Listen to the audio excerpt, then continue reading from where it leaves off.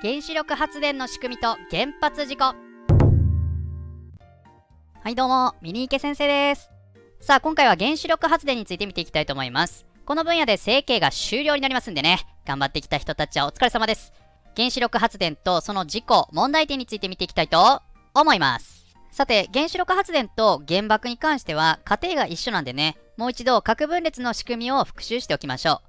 天然のウランがあります。ウランは238と235、234というのがある。このウラン235だけ唯一中性子を吸収するんです。中性子とウラン235が反応することによって核分裂を起こします。これは炭素1つと酸素2つが反応して二酸化炭素ができる時に放出されるエネルギーのなんと6.5億倍という凄まじいエネルギーが放出されるわけです。この時に核分裂生成物とさらに中性子が発生するんです。ウラン235があって、中性子とぶつかることによって核分裂を起こす。その時にまた中性子が発生して、またウラン235と反応。核分裂を起こして、さらに中性子が、さらにウラン235と反応する。こういった形で核分裂が連鎖的に反応していく、連鎖反応が起きるということです。これが一瞬で起きていって、核分裂を最大限利用するのが原爆。一方で上の方は原子力発電の場合です。中性子がウラン235とぶつかることによって核分裂を起こすんですが、制御棒で中性子を吸収することによって核分裂連鎖反応を制御していくんです。原爆と根本的な仕組みは一緒なんだけど、制御棒を使ってコントロールしていくという点では違いますね。原子力発電のメリットは、石油と違ってウランのコストが安く、温室効果ガスを発生させないということが一番のメリット。温室効果ガスを発生させないことから地球温暖化に貢献する原子力発電が推進された一番の理由になっているものです。さらに、ウランは埋蔵量が多く、政治不安のある中東以外に多く埋蔵されているという点ですね。オーストラリアやカナダ、ロシアに埋蔵されています。さらに、先ほどの連鎖反応も踏まえて見ていると、持続可能なエネルギー源だと言われていました。特に地球サミットは持続可能な開発というのがスローガンに掲げられていた分、原子力発電というのは大きくこれに貢献するエネルギーだと考えられていたわけです。さらに核燃料は再利用することができるんです。プルサーマル計画って呼ばれるんですが、これは後に詳しく見ていきます。日本でも1955年に原子力基本法というのが制定されます。原子力の研究、開発、利用を平和目的に限定。公開、自主、民主の三原則が明記された法律になっています。1965年には東海発電所が初の原発送電に成功。1974年には電源三法が制定され、原発立地自治体に補助金が配られるわけです。原発マネーです。1970年代に10地点、現在は17地点になっていますが、原子炉営業運転が開始されていく。大きくお金が動いたと言われています。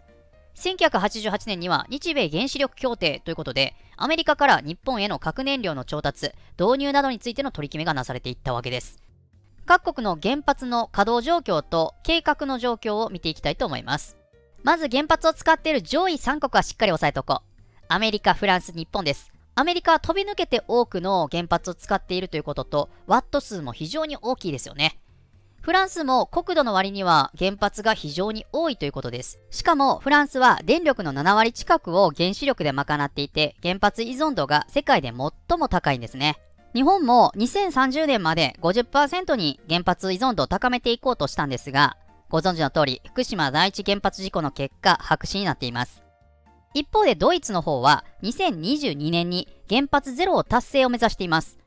ドイツは福島原発事故を受けてこの原発をゼロにしていこうという動きに舵を切ってるわけです。一方で中国は建設計画中がものすごい数ですよね。各国の動向をしっかりと見ておいてほしいなと思います。さて、原子力発電の仕組み、サクッと見ておきます。ウラン鉱山から天然ウラン鉱石を採掘してくる。燃料製造工場でウランを濃縮します。そしてウラン235を使って原子力発電所で核分裂を起こしていく。そのエネルギーを使っていくのが原子力発電ってやつです。この核分裂が起きた時にゴミが発生する。これが使用済み核燃料ってやつ。この使用済み核燃料の中でもまだ使えるものがあるということで再処理工場にて処理を行うとウランやプルトニウムという物質そして放射性廃棄物に分かれていくわけです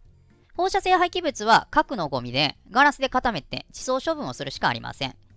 じゃあここで取れたウランとプルトニウムどうすんねんって言ったらモックス燃料工場というところに持っていきますこれはウランとプルトニウムを融合させていく。混合酸化物、これを MOX 燃料と言います。これはまた核分裂を起こすことが可能になっていくので、原子力発電所に持っていって、さらに発電を行っていくということ。こういったプルトニウム、ウランをリサイクルしていくこと、プルトニウムをサーマルリアクターしていくということで、プルサーマル計画、プルサーマル発電って言ったりします。さらにもう一つのパターンとして、ウランとかプルトニウムを燃料加工工場に持っていって、そしてこのウランプルトニウムを MOX 燃料にせずな、高速増殖炉発電っていうのをしていくわけです。高速増殖炉発電所では、プルトニウム239を中性子と反応させるんです。プルトニウム239も中性子と反応すると核分裂を起こしてすごいエネルギーを発生させます。すると、プルトニウム239とさらに中性子をウラン235にぶつけてという作業を行っていくわけですね。だからこの高速増殖炉にはウランとプルトニウムがあるわけです。この連鎖反応を起こさせていくわけですが、もちろんここでも核のゴミが出てきますね。使用済み核燃料。それを再処理工場に持っていって、さらにウランプルトニウムを抽出し、そこからさらに高速増殖炉に持っていけば、ほぼ無限にリサイクルが可能じゃねえかという話なんです。これを高速増殖炉サイクルって言います。そりゃこのシステムだけ見たらさ、持続可能なエネルギーだと思います。ただし原子力発電のデメリットは、高レベル放射性廃棄物、核のゴミの処分をどうしていけばいいのかという問題です。この処分に困っている状態のことを揶揄した言葉がトイレのないマンションという言葉です。地震の多い日本では長期的に安定した地層が見つかりません。なので、候補地はまだ未定ということで、ゴミばっかりが出ている状況なんです。再処理政策を維持する一方で、直接処分の研究も支持されているんですが、未だにこのゴミ処分というのには困っている状況。実際にこの核のゴミを貯蔵するプールがもう98%埋まっているんで、どうしていくねんっていう問題があるんです。さらに実際にリサイクルっていうのも行っていく予定だったんだけど、できてるのはたった1%程度だとも言われています。さらに大きなデメリットとしては原発事故ですよね。この事故が起きたら甚大な被害が起きるというのは言うまでもない事実。実際にアメリカでは1979年にスリーマイル島原発事故というのが起きています。ペンシルバニア州のスリーマイル島の原子力発電所で発生した重大事故で、原子炉から冷却水が失われ、露出した炉心、温める棒みたいなやつが加熱してしまって、原子炉が空だき状態となってメルトダウンを起こしてしまいました。一番大きな事故としては1986年ソ連で起きたチェルノブイリ原発事故です。ソ連のウクライナ共和国のチェルノブイリ原発で発生した大事故。原子炉の実験中の大爆発で原子炉が崩壊。大量の放射性物質、いわゆる死の灰が飛散して周辺やヨーロッパ各地を汚染していきました。国際原子力機関 IAEA と経済協力開発機構 OECD が策定した国際原子力事象評価尺度ではレベル MAX の7となっています。実際に消火作業に当たった作業員十数名の死亡が発表されているんですが、当時ソ連は情報を隠蔽していたため非難合々でした。そこからのゴルバチョフのグラスノスチ情報公開の流れなんです。実際に WHO が調査した結果、脳出血、白血病によって犠牲者9000人近くになっていたのではないかと試算されています。日本では1991年に美浜原発事故っていうのが起きている。タービン建屋において配管が破裂。約140度の熱水が蒸気として噴出して5名の作業員が亡くなっています。さらに1995年にはモンジュナトリウム漏れ事故というのが起きている。先ほど紹介した高速増殖炉。これがモンジュって名付けられているんですが、このモンジュの試運転中に冷却剤である金属ナトリウムが破損、漏洩したという事故です。それによって火災事故が発生してしまいました。しかもこんな重大な事故が一時隠蔽されたことも問題でした。けど、モンジュには多額の税金が投入されてるわけですから、運転再開を目指していたわけです。ただその工事中に2010年、炉内の中継装置が落下したなど事故が相次いでいます。再び稼働ができなくなってしまい、2011年には福島第一原発事故の影響を受けて、安全性に疑問符がついたモンジュも廃炉が決定しました。これが2016年の話です。多額の税金が投入されたにもかかわらず、試運転の段階で終了ということで、非常に大きな問題だと思います。1999年には茨城県で東海村 JCO 臨海事故というのが発生しています。JCO というのは住友金属鉱山の子会社なんです。ここでのウランのずさんな管理というのが問題になりました。普通は溶解灯という装置を使うことが規定で定められていたんだけど、作業効率、コスト削減のために、このような図の形で、ステンレス製のバケツが使われた手作業でウランが扱われていたということで、非常に危険な作業になっていたんです。作業員も、これを管理する人も、どこまで重大な事態だったのかっていうのが分かってなかったようなんですが、この作業の際に核分裂連鎖反応が一定の割合で起こる臨界状態が発生作業員2人が被爆してしまい死んでしまいますしかも臨界状態になっちゃってるので核分裂が発生してるわけでしょ？約20時間にもわたって周辺に放射線が放出され続けます国内初の住民避難が行われたということです非常に大きな事故となっていますそこで2001年に行政では原子力安全保安院が創設され、原子力安全委員会は総理府から内閣府に置かれるようになりました。